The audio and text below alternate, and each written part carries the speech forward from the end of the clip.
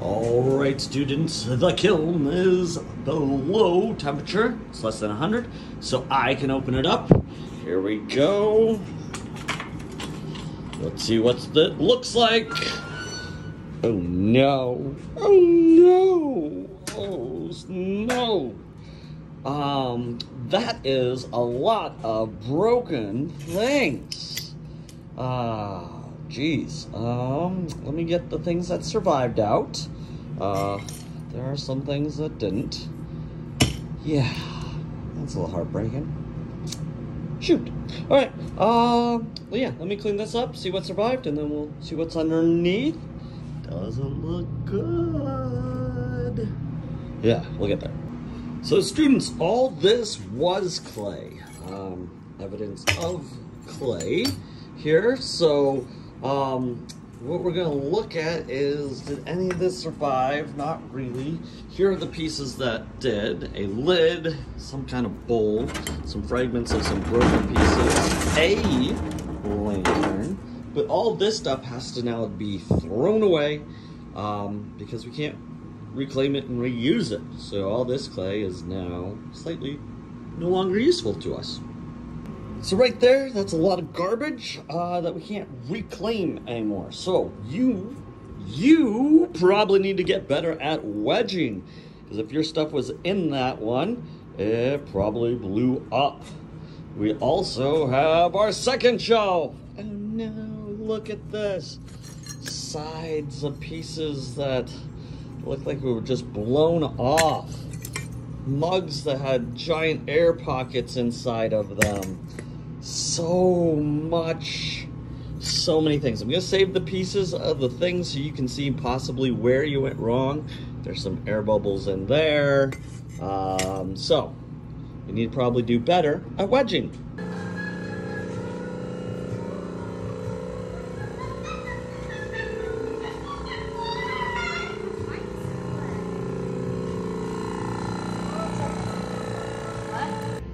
Students, a lot of, lot of things blew up in the kiln because we're not wedging right. And I have some proof here for you.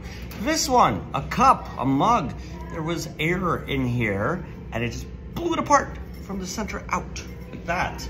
Uh, this wall was slipped and scored on here well, you can see, but it wasn't slipped and scored on on the top or the bottom well.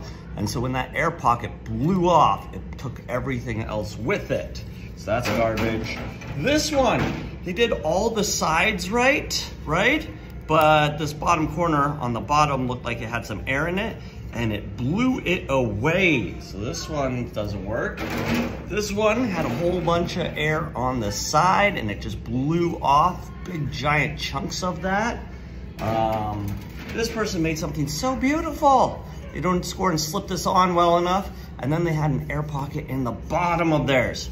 It's still usable, but that's a lot of sanding. Speaking of a lot of sanding, uh, some of you that actually have finished yours might have a lot of sanding to do.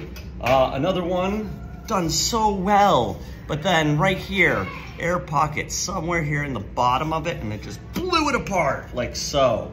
Uh, this one, this one had an air pocket in the bottom right here of their piece and looked like they had an air pocket in the base of your piece. You can sort of see that. So in the bottom there and then one right here and it blew off the handles on both sides and the bottom of this one.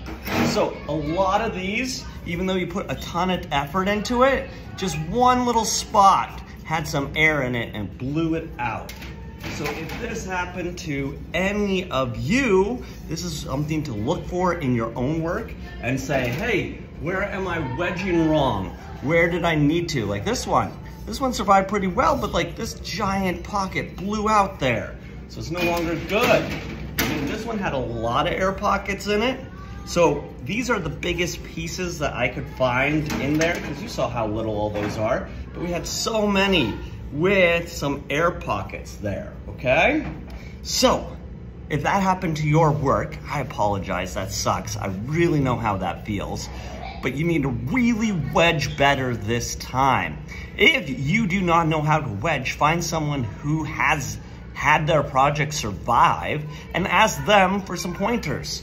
It's uh, not okay. It's okay to get help. It's not okay to just sort of struggle on, okay? So if any of your projects did this, uh, please just be a little bit careful when you're wedging. Make sure to do it the 30 times. And then if anything like yours that didn't get on like this, slip and score, make sure you're slipping and scoring it on really well, okay?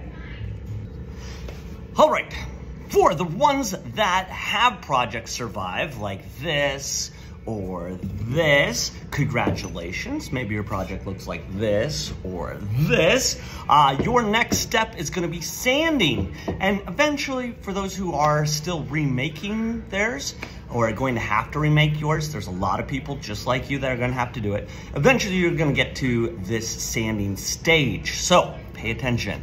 So if you have a mug like this and it's very smooth, uh, what you're gonna do is look for little imperfections, things like this little chip here, any of this, and you wanna make this buttery smooth. You're gonna put your hand on it and feel any rough spots and you're gonna sand that down.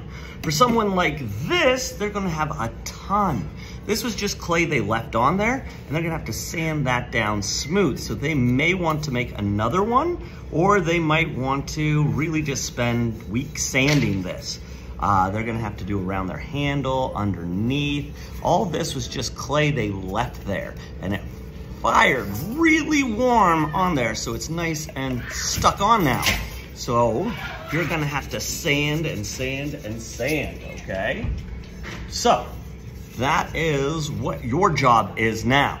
Um, same thing for the lanterns. If yours is like this, you're gonna probably have less sanding to do. You're gonna have these little things on the side right here that you're gonna have to sand off. You're gonna sand inside a little bit. Uh, for your mugs, you definitely wanna sand inside as well.